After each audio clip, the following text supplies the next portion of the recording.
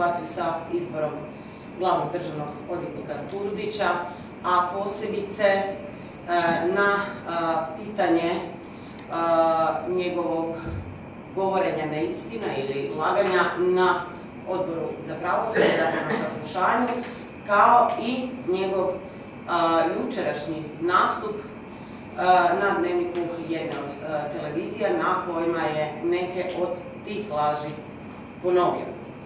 I sada ću pokušati vrlo jasno reći u kojim je to aspektima sve kandidat za glavnog državnog odvjetnika lagao, odnosno nije govorio istinu. Počet ću sa pitanjem slučaja Rimac. Dakle, na saslušanju na odboru sudac Turudić tvrdi da sve što je rekao u medijima, referirajući se na njegov nastup na N1 i Nedeljom u 2, u pogledu sastanaka s Josipom Rimac da je istina. Dakle, na moje eksplicitna pitanja, on je rekao da sve što je tamo rekao i na N1 i na Nedeljom u 2 da je točno. U Nedeljom u 2 on je tvrdio da je jednom Josipu Rimac primio na, na sud. Na eksplicitno pitanje voditelja, da li je to bilo samo jednom, on odgovara samo jednom na sudu. Iz poruka koje su bile objavljene ovog vikenda, dakle korespondencije između suca Turudića i Josipe Rimac, jasno proizlazi da to nije bilo jednom, već u nekoliko navrata. Ponovit ću, on ju sam poziva u određenim porukama da dođe na sud.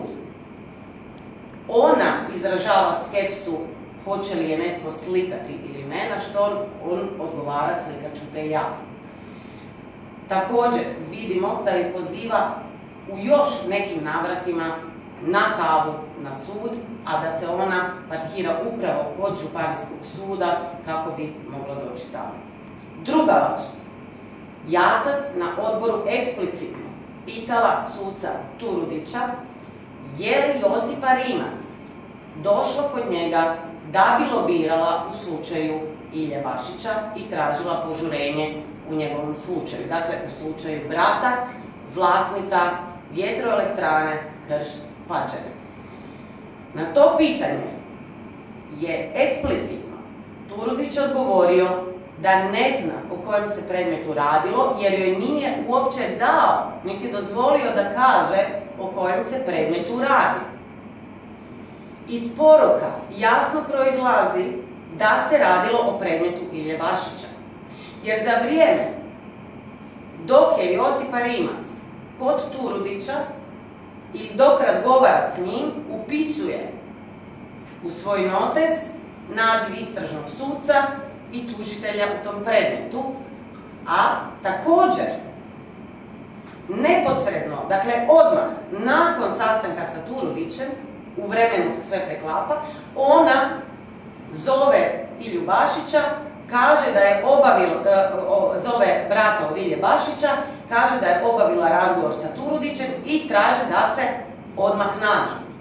Znači, samo ako se pravimo gluhi i slijepi, možemo povjerovati u ono što Turudić kaže, a to je da nije znao o kojem se predmetu radi. Dakle, lagao je i o tome.